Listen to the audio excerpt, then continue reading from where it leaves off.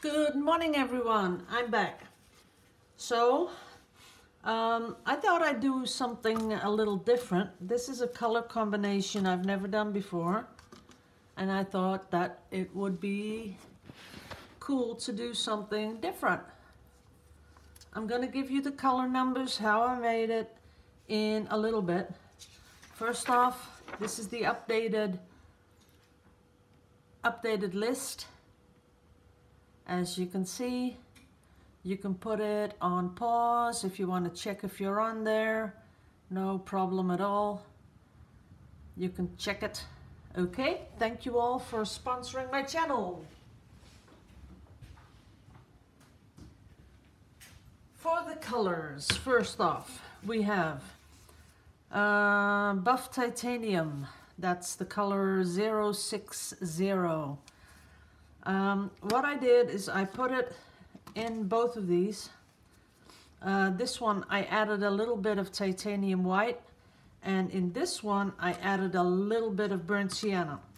So I have no white, it's all pretty much really eggshell color and a little bit of very very um, uh, I'd say a medium uh, medium beige yes Okay.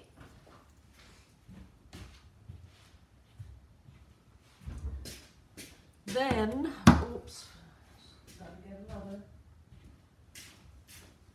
Then for the blue, um, this is a really beautiful blue. I really like this color. Um, Winsor & Newton has powder blue, but it's not really that interesting a color. It's pretty pale. And what I did is I added this blue. So I have powder blue and I have cerulean blue who, yeah. It's 446 and 138, those two. So a lot of this and a couple of drops of this blue. And I, of course I've added a little bit of titanium white and that gives you this beautiful, beautiful color. As you can see here at the top, that's this color. Okay, now for this um, salmon color, this is a kind of neat color too. I, um, I put in the buff titanium and I put in cadmium orange hue. This is number 090. So I put that in there, a drop of this, and a lot of Titan Buff. So all of these colors except this one, this one is pure burnt sienna and the color number is 074. All of them except this one is uh, mixed, so they're my own colors. And um, I want to get you guys mixing your own colors too because it's so easy you know, and it gives you something unique, something uh, no one else has, the colors that no one pours with, only you, and it's pretty gratifying. So I'm just going to put them away. There we go. And I'm going to be pouring on a 20 by 20. I've already put the push pins in place. I put the little pegs in the corners.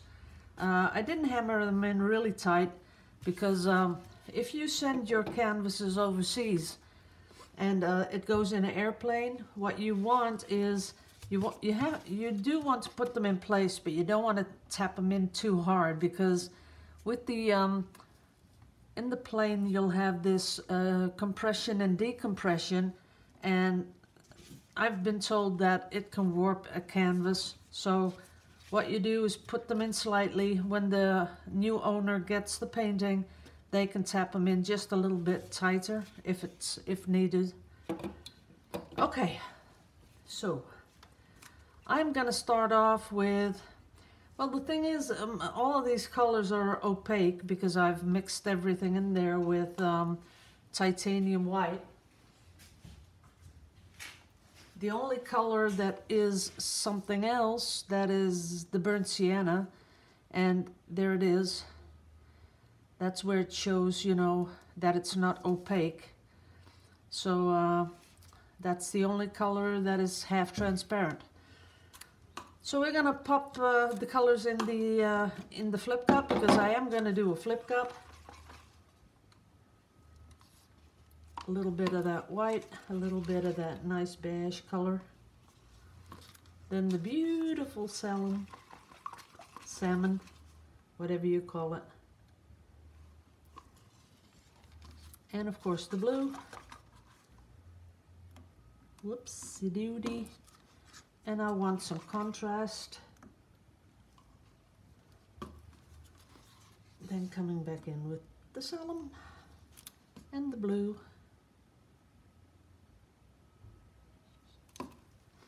And this will keep if we maybe need to do some ribbons or whatever. But I think I have enough to cover the canvas. And it's going to be a nice and light canvas. So there we go. Just letting it settle a little bit.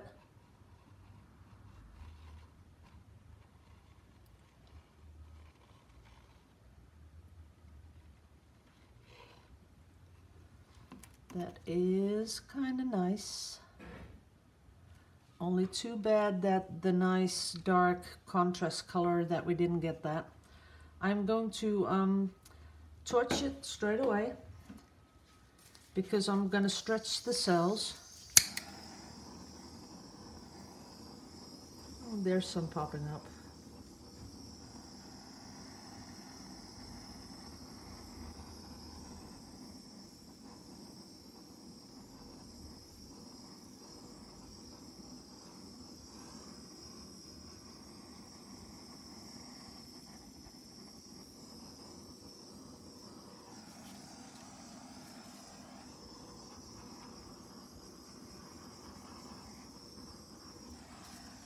Now, what I mixed with is um, only pouring medium from Vallejo and gloss medium. And in every cup there is two drops of silicone. And that's probably why you're not seeing a lot of cells. Because I just wanted to, um, to tone down a bit on all the cells.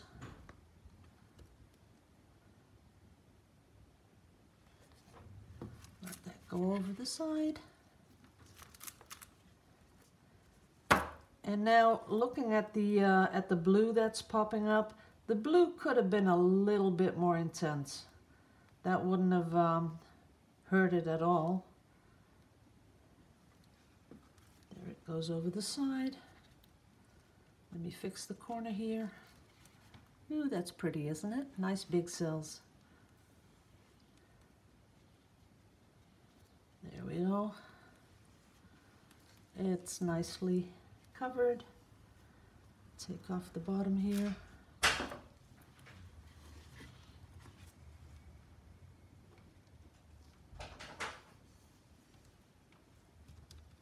There it is.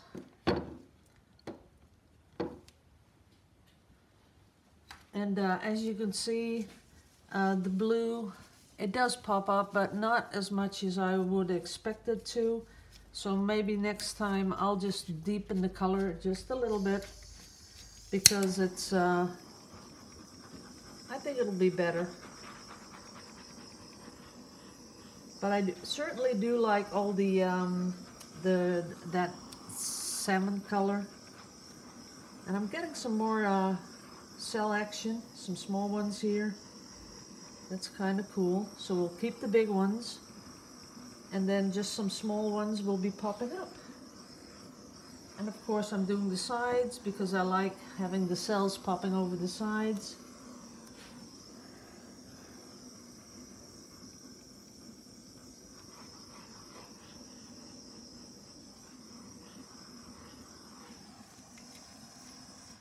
Yeah, the uh, the last torch really added to the piece where this came up here in the corner some cells popped up and this bit here popped up.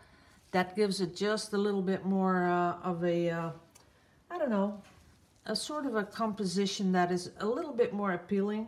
So I really like this pour. Uh, the colors are pretty. Uh, we got really huge cells. We got the little cells. We got some contrast going on here with the dark, here some dark popping up. Might even work still a little bit because that can happen. But um, why I'm trying to do these colors is because I want to incorporate some sort of a gold into these uh, paintings. And I'll show you what I've done with another one.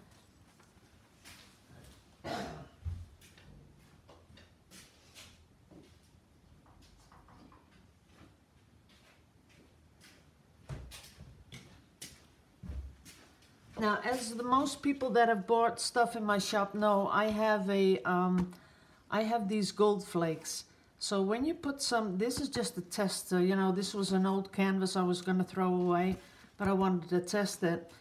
Now, if you have a pour that's not that appealing, you know, and we all have them, you know, you think, okay, it's nice, but, you know, it's just not grabbing me. Now, if you put some, I don't know if you can see that. Yeah, you can. I put some uh, special gilding glue on here and you let it dry for 10 to 15 minutes. Then you come in with those flakes. You just throw all those flakes on top and press it down with a dry brush. Then when, when the, um, the glue is dried, you can just brush off the excess. And what I did is I put it along the, uh, as you can see, the corners and down here, every corner. Then I put some up here and I let it come back a little bit down here. And all of a sudden, you know, then it sort of pops. It gives it a little special something. And for a pour that was first not that totally interesting, it comes back and it gives it just a little bit more kazam. And uh, I sort of like that.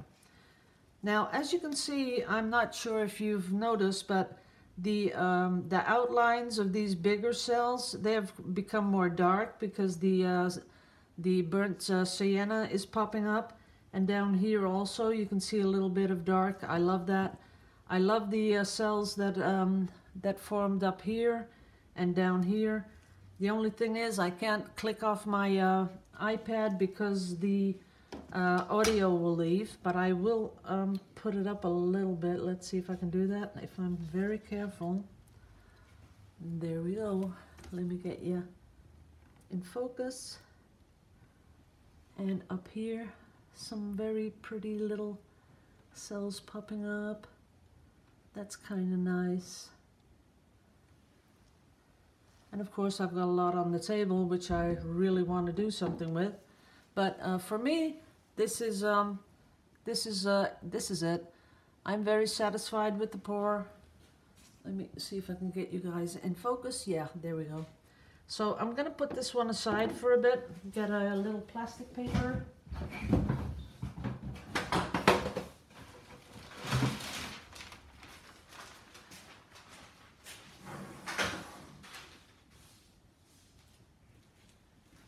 And put it aside. Really be careful.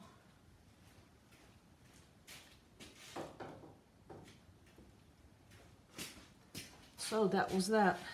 Now, I have a little bit of Yupo over here, but I'm not going to do much. I just want to see if I can put in a little bit more of that nice dark rusty color and a little bit more of that blue.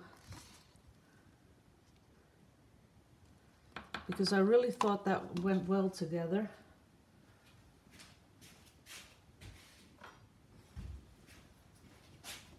And I'm going to pick it up with a tiny little palette knife. There we go.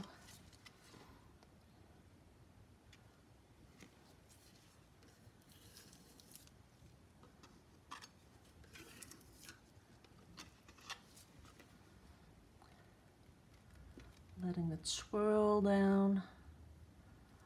I know a lot of people like uh, like like to watch the paint drip. it's really soothing, isn't it? It's sort of uh, relaxing to see paint just, you know, slowly, slowly move. It is nice. Let me see if I can get some more down here. Ooh, that's really looking good.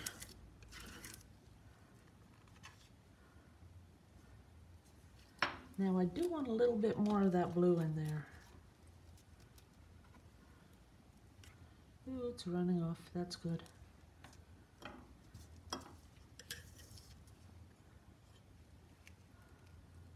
Let's see what happens. Okay, that's good. And I want some down here.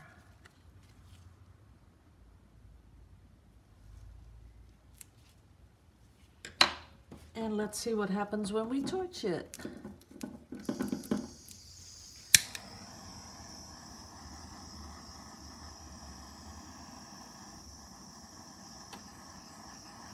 Very slowly.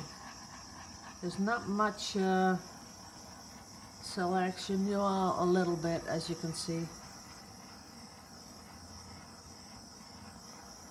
I'm sort of thinking that it may, might be too cold in here because it takes a long time for it to uh, warm the paint enough that it releases that silicone.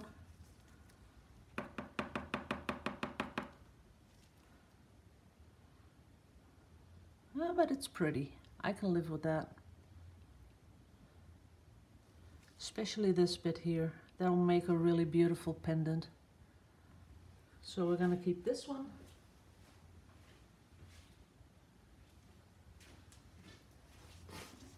And then I just want to do one more.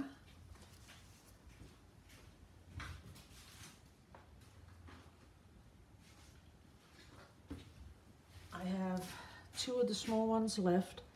And this time I'm just going to drop it on here. Uh, let me see. Oh, here's a lot of colors left in here. Let's see. That is kind of nice. But we won't do that. So I'm going to put it on here.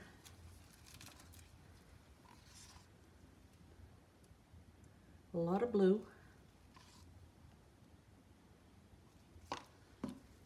And a lot of that salmon.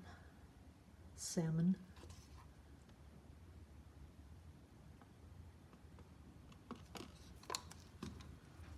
And then this one, the little gray one, of the beige one and a lot of this one. And of course, a little bit of contrasting color. There we go.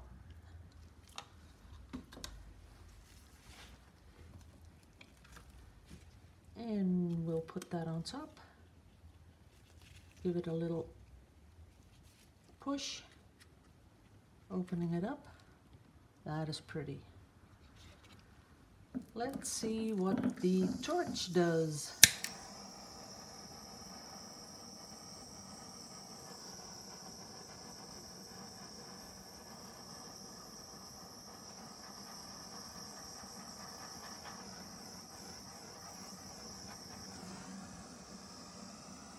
Interesting.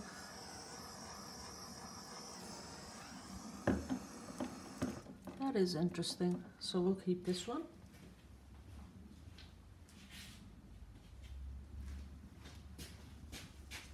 And this one will, I'm going to torch it with my new torch.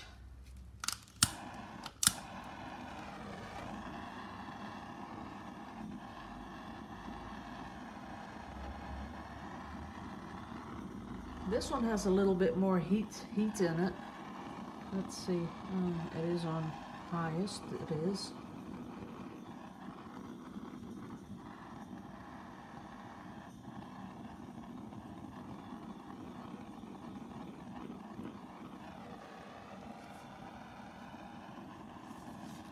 That's a, there's nothing more I can do with it. Let's see. Oh yeah, that's cool. Thought I could uh, make it a little bit more fierce, but I guess not. There's nothing you can do with this one. See, it's only low or high, but you can't make the gas come out faster. So that's, uh, that's okay. Then I like the, these better. See, you can, it forces the air out or the gas out a little bit faster. But that's okay, we can keep this one. So here it is. Let me get you in close. Kind of pretty.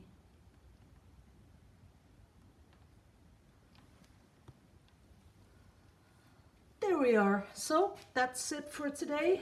Not for today. This is it for this pour. Um, I think I might be going to uh, prep a really big canvas for tomorrow. So uh, what I'm gonna do is a, um, uh, I think a 120, 120 centimeters by 40. I'm going to see if I can uh, put some plastic on the floor here and then um, set up an another camera. And uh, yeah, I really feel like doing something big. Not in these colors, but I think I'll go back to the uh, ocean colors for that one. So we'll see. But for now, uh, until I clean this up and come back, uh, I'd like to uh, say to everyone, love you all to pieces, liebe euch alle, and see you in the next video. Bye-bye.